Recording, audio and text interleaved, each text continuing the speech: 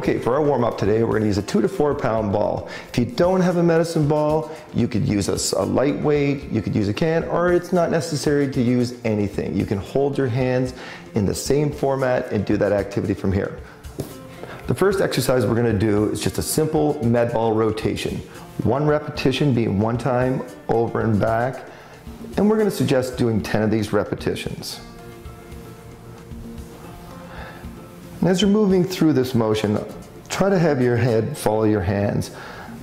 That way it allows your spine to get a nice rotation. The next exercise we're going to do is what's called a wood chopper. I want you to start with the ball off to one shoulder and we're just going to rotate nicely across the body. Again, we're going to do 10 repetitions. We're going to have the head flow across the body with the hands.